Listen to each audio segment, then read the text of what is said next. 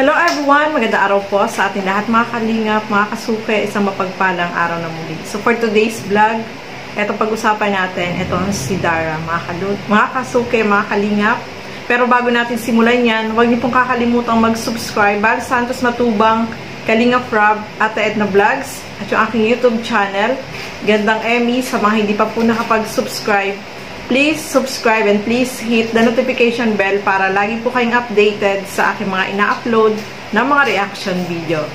So tara, panoorin po natin ito. Welcome to my channel.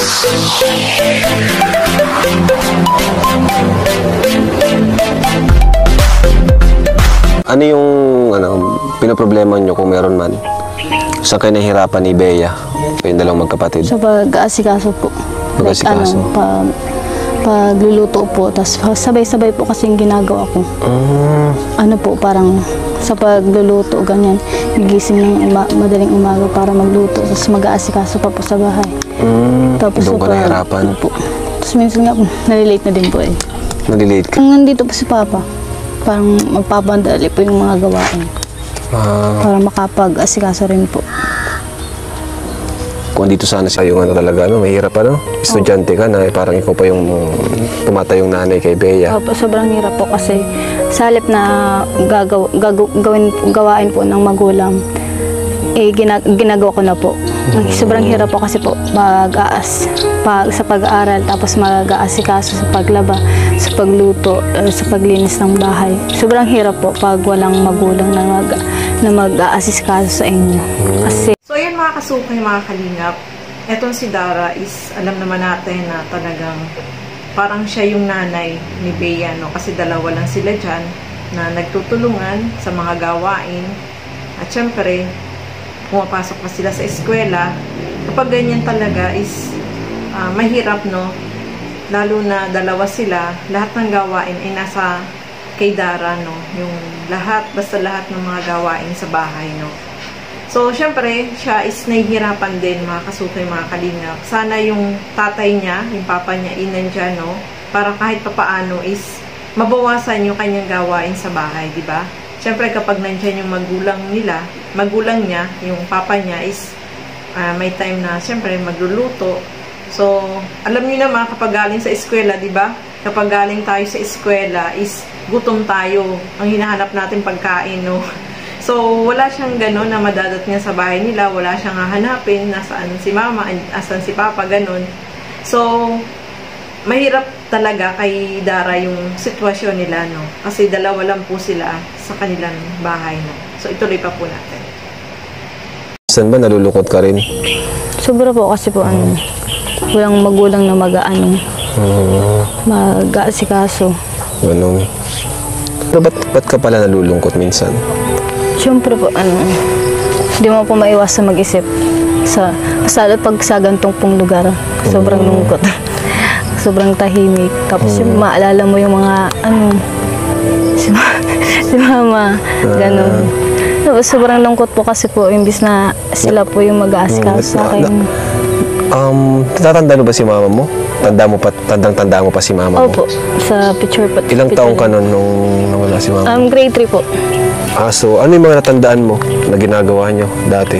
Um, ano po, yung naalala ko po parang gigis, yung bata pa ako.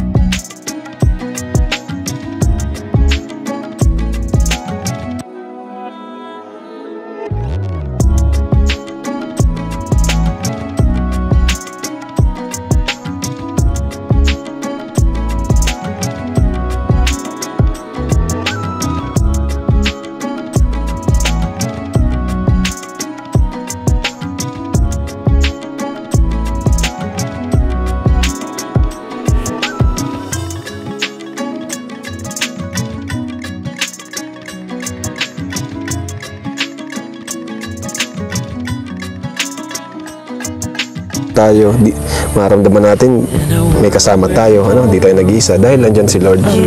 Kaya So yan mga kasukoy, mga kalinga, pasensya na po kayo naging, ano tayo, yung nararamdaman natin kung ano yung nararamdaman ni Dara, no. Sobrang malungkot sila dahil syempre bata pa sila, is iniwan na nung mama nila, no. Kaya sabi nga niya, may time na kapag lumalabas siya, pagbalik is malungkot. So, ganun yung feelings, no. Ah, eto si Dara, mga kasukay, mga kalingap, is pinapakita niya yung pagiging strong niya, lalo na kay Bea, no. Kasi siya na yung tumatay yung mama ni Bea, sa halip na yung tatay nila ay nandiyan, is wala, no. Siyempre, hinahanap-hanap din niya yung pag-aalaga ng magulang, no. Kasi may papa naman sila, siyempre iniisip niya bakit gano'n, no. So, sobrang nakakalungkot, no? Nakaka, ano sila, yung maawa ka sa kanila. Kasi, dalawa lang sila dyan. Tapos, meron naman silang papa, kaya lang nasa malayo, di ba? So, mas maganda siguro kung nandiyan yung papa nila o dyan na lang maghanap ng trabaho, di ba? At least, ah, may kasama sila na magulang na magaguide sa kanila, no? Kasi, alam niyo mga kasukay, mga kalingap, kapag, siyempre, walang, wala silang magulang dyan, silang dalawa lang, halimbawa, galing sila lumabas, pag uwi nila malungkot, wala silang madadat nga na kahit na sino, no? Walang tao sa bahay nila. Ah, talagang malulungkot ka, no? Ganun yung nararamdaman niya, no? Siyempre, hinahanap-hanap niya yung pag-aalaga nung magulang nila, kahit yung tatay nila, yung papa nila. Kaso nga, nasa malayo po mga kasukay. So, sana yung papa ni Dara is umuwi na lang dyan, no? Pwede naman siguro maghanap dyan ng trabaho. At nandiyan naman yung kalinga, pwede naman siyang humingi ng tulong o trabaho na pwedeng matulungan yung papa ni Dara, no? At isa pa, yung, di ba sabi niya is malaking tulong yung nagawa ng kalingap sa kanila, no? Especially sa kalagayan nila ngayon dahil yung isang libo na ibinibigay sa kanya na allowance ay talagang pinagkakasya. Hindi po yun magkakasya ng isang linggo, no? Yung pamasahe na lang magkano, pagkain pa nila. Kung may kailangan bilhin sa school, kung may project, di ba? Talagang kapos na kapos yun. Kaya laking pasasalamat ni Dara dahil sa Kalingap is natugunan yung pangangailangan. Sa ngayon, sabi nga niya is nakapag nakakatulong siya sa mga klase niya dun sa project, no? kapag kulang siya na lang nagdadagdag. So maganda yon yung malaki talaga yung naitulong sa kanya ng kalingap, no? Dahil uh, nagkaroon sila ng yung finances na kailangan nila, lalo na sa pagpasok sa school, sa pagkain. Paano na lang kung wala yung kalingap, di ba? So talagang deserve nila ng tulong mula sa kalingap. Mga kalingap, hanggang dito na lamang po muna. Maraming maraming salamat po sa inyong panonood at lagi po nating suportahan Bal Santos Matubang, Kalinga Prab, at Edna Vlogs, at yung aking YouTube channel, Gandang Emmy. Sa mga hindi pa po nakapag-subscribe, please subscribe and please hit the notification bell para lagi po kayong updated sa aking mga ina-upload na mga reaction video. Maraming maraming salamat po at hanggang sa muli. Bye-bye!